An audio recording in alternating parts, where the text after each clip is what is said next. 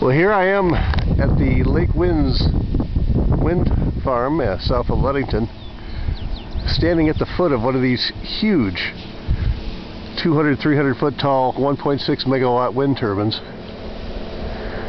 And as you can hear, they really don't make a whole lot of noise. Just a little bit of hissing in the wind as the blades go by.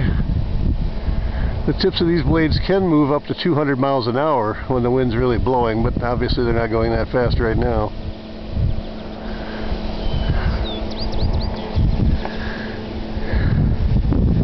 And as you can see, all around me here south of Ludington are dozens and dozens more of these wind turbines.